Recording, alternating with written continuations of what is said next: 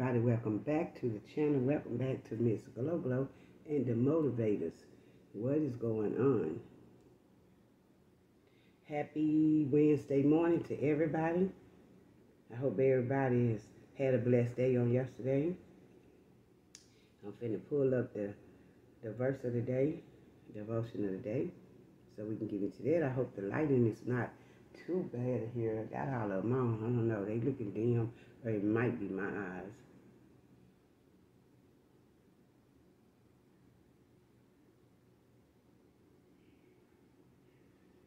So yeah, how's everybody doing? I have the coldest water bottle right here. The coldest water bottle actually have some really good sales going on. They got some really, really cool uh, water bottles now. Pretty, many pretty different colors. So you guys might want to check it out. And I'll try to leave my um, link down in the description box below. So uh, check it out. Uh, and if you do check it out and decide to get a water bottle, the uh, promo code is Gloria 10. Yes, Gloria 10. Um, I have my cold water in the cold water bottle. I have my iced coffee right here. I have uh, egg omelet. I tried to do. I'm not good with egg omelets at all. Uh, breakfast sausage and some uh, cherry tomatoes on the side. We're going to say grace and get into this. Father God, in the name of Jesus, Lord, I want to thank you for blessing me, Lord. Thank you for waking me up, for keeping me, watching over me all night while I slept in slumber. I thank you for each and every member of my family, Lord. The ones that are close, the ones that are, are far away. I thank you for how you just bless them, and Lord, continue to keep us in the land of the living. Father God, I thank you for all of my subscribers and their families. I ask that you continue to bless and watch over them, Lord. Lord, I just thank you for being God all by yourself because you are great, you are almighty, you are awesome, God. And I ask that you bless this food and let it be a nourishment for mind, body, soul, and spirit. I also ask you, Lord, to take out any defilement in Jesus Christ's name. Amen.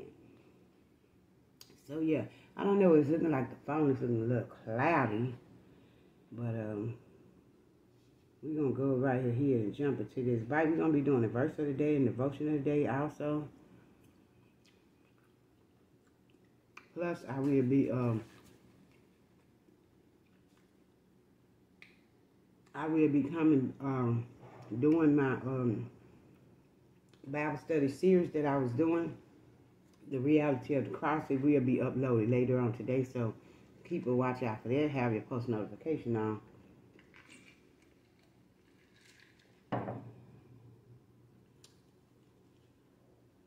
So, like I say, once again, happy Wednesday. God bless you all.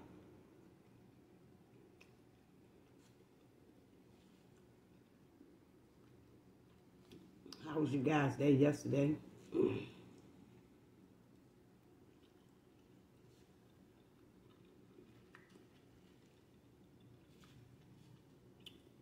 don't know if you guys can hear this little cold. Trying to get a cold. I think it's passing over now because I was a little stopped up. And it's just a cold, common cold.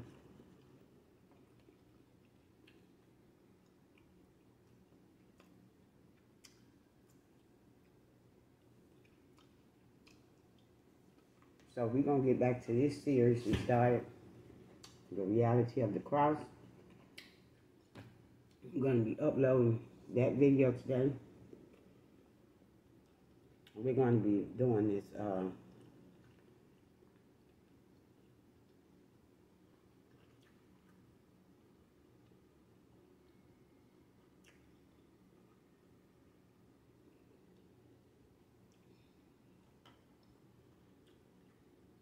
the verse of the day is coming from Jeremiah 29 11. And it reads as thus For I know the thoughts that I think towards you, saith the Lord, thoughts of peace and not of evil, to give you an expected end. He said an expected end, not an unexpected end. The Lord said, I know the thoughts that I think towards you. He know the thoughts that he think towards us. Sometimes it make me wonder, ask myself, you know, sometimes you can put yourself in places that you shouldn't be in, but because you refuse to wait trust and believe on the Lord, sometimes you put yourself in places that you shouldn't be in. It might not be where God wants you to be, but sometimes we rush, want to rush God. We tend to think of God as um, microwavable, you know, that he, we can cut him on and off, but that's not so. So, life can be very challenging, and life happens, okay? Life happens to the best of us every day. But we have to take it one day at a time and keep going, keep striving for that perfection, okay?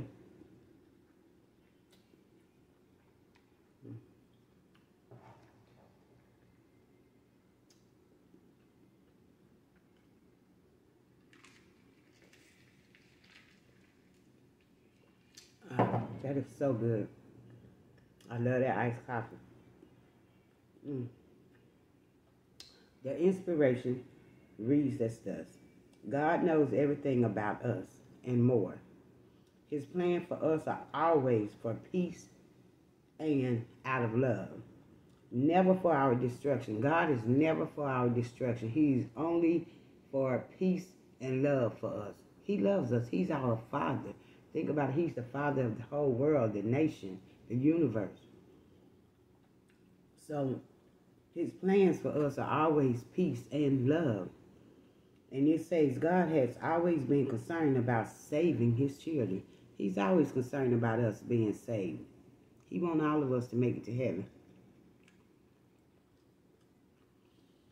Even though he know we are all not, he wants us out too. And that kind of falls into your own choice. Remember, following Christ is a free will choice. He don't force anybody to follow him. And it says God has always been concerned about saving his children. And save his children he did. What a loving father we have found in the Almighty God. So that just make me think, it make me wonder that sometimes we need to just, you know, sit back and tell God that we thank him for the plans of our life and, you know, thank him for the sake of peace, thank him for his grace and mercy, you know, his endless love. Once again, that was the verse of the day, and it came from Jeremiah chapter 29, verse 11. And if we go to devotion of the day, the title of the devotion of the day is called Temptation Produces Endurance. Temptation produces endurance.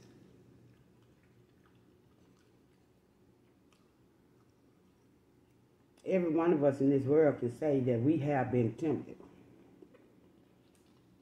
We all went through some kind of temptation, trials, tribulations, ups, downs. We all have had some losses, some wins.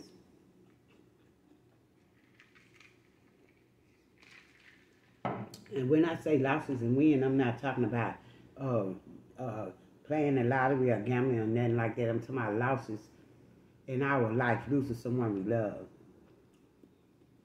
Uh, even a bad breakup, you know.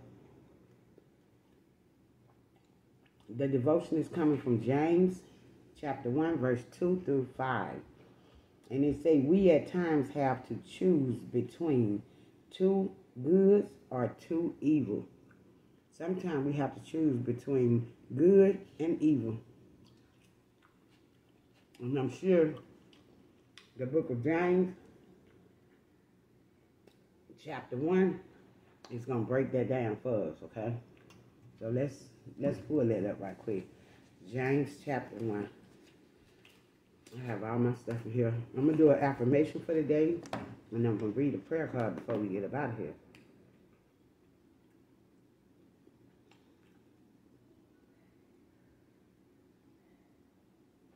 Mm, I should have had this pulled up. But we ain't don't worry about it. James chapter 1, verses 2 through 5.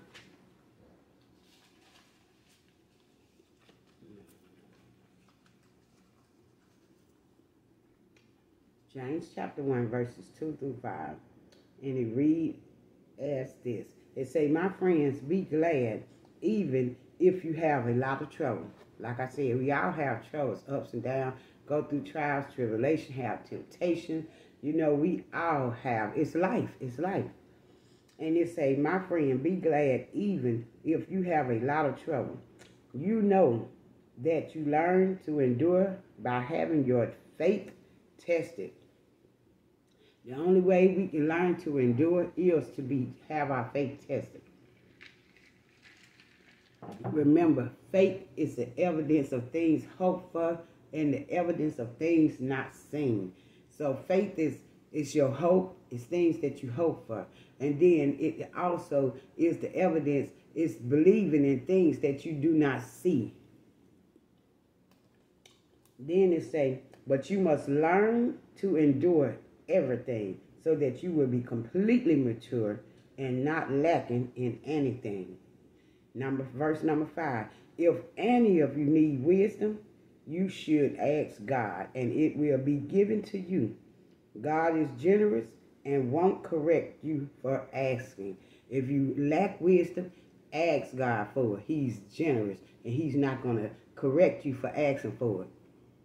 He said, Ask and you shall receive.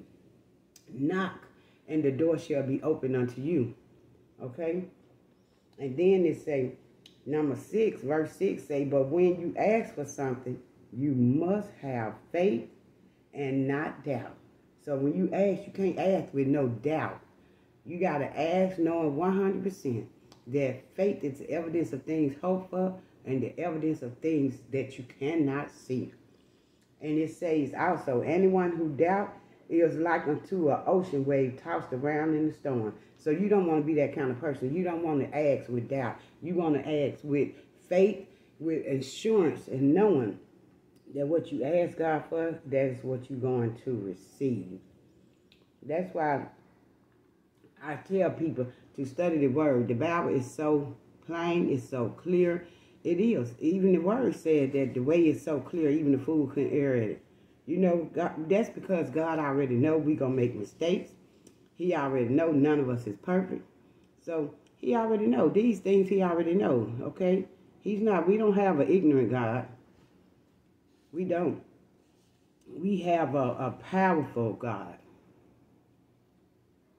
An all-knowing God. A gracious God. A merciful God. A loving God. So he already know all these things. God already know what's going to happen in your life, when it's going to happen, how it's going to happen. And that is just a mystery of us not knowing our future. But God know our future, our past. He knows it all. And our present. Okay? That's why it is good to pray and ask God to move them stumbling blocks, to pave the way so that you can be able to walk, even if you're walking in the dark. Ask Him to, to let that His word be a light, be a lamp to your footsteps so that it can shine bright down that long, narrow road as you walk it. That's all God wants. God don't require much of us. He said, to whom much is given, much is, is received. God is a good God. And he don't withhold nothing from us. But sometimes when we want something from God, we don't know how to pray for it. And when you don't know how to pray, that's when you ask Jesus, who is God's son, who is your brother. Because of the death of Jesus on the cross, we became his heirs. We became his sisters and brothers spiritually connected to God through Jesus Christ's blood. So you can ask Jesus to speak for you, to go to the Lord for you on your behalf. Because we don't know what to pray for. Sometimes we don't know how to pray. But the Spirit know how to make intercession for us.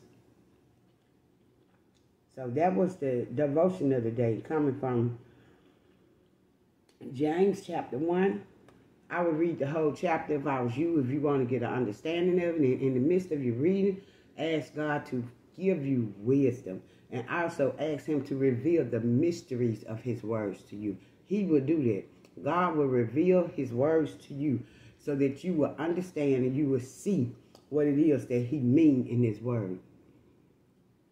The word is nothing to be played with. It's nothing to be taken lightly. It is very serious.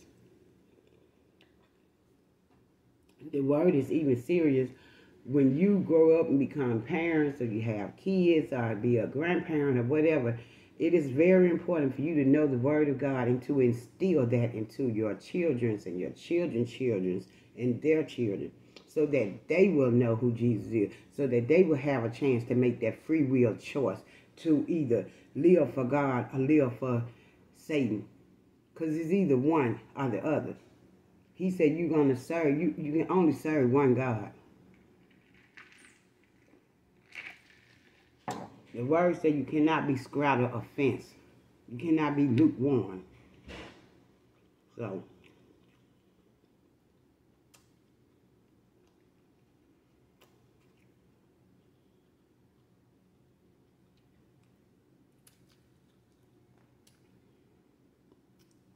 I'm trying to see how many minutes we done.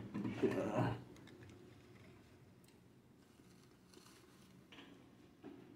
So yeah, you just gotta stay in the word. Just gotta stay in the word.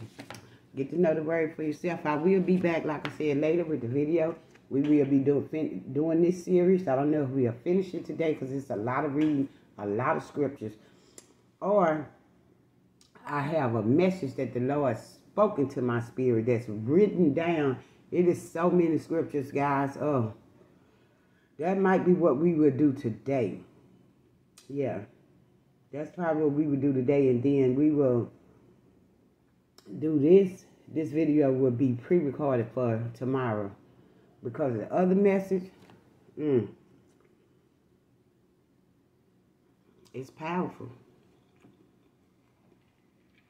It's all the word. When I come to you guys, telling you guys stuff, it is not just me. Yep, y'all see my little hair. I still had on my little cap. But yeah, it's it's not me. As the uh as the spirit speak to me. I try to be led and guided by the spirit. I pray. If it's something I don't understand, I ask God to give me an understanding to put within me the spirit of discernment. Because I want to be able to know the voice of the Lord from the voice of the enemy. But I just want to tell you guys I love you. I hope you guys enjoyed this little video. Let's get our affirmation for the day. And then we're going to end this thing after. And I'm going to see y'all in the next video. Let me see.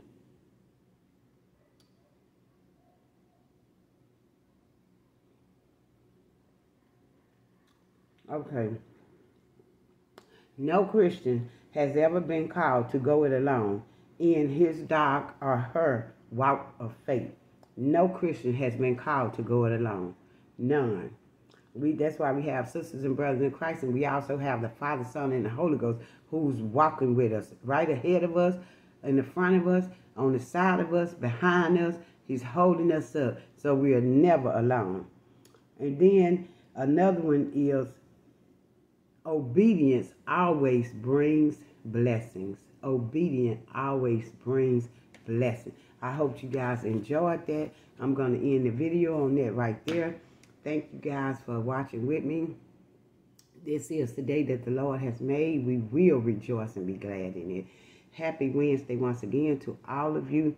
Remember, we're all under one God, one nation, one love. Peace we have. Peace I carry around in my heart with me every day because Jesus left that peace here with me when he shedded his blood on the cross on Calvary when he was piercing his side for every thorn that was put around his head. He did that so that I may have peace and have life everlasting. And I speak it, I receive it, and I believe it in the name of the Father, Son, and the Holy Spirit. And I speak it on your life and your family lives also. Stay safe, stay blessed, stay prayed up, keep the faith. Guys, make sure you get vaccinated. Make sure you take your flu shots because whew, the cold season have already started. Mm-hmm. It's already starting. And remember that God loved you so, so, so, so, so, so much that he gave his one and only begotten son. And I love you too. Until the next time, have a blessed Wednesday. Don't forget to subscribe, like, share, thumbs up the video, even leave me a comment down below. And I'll see you guys on the next video. Peace, God bless, and happy Wednesday.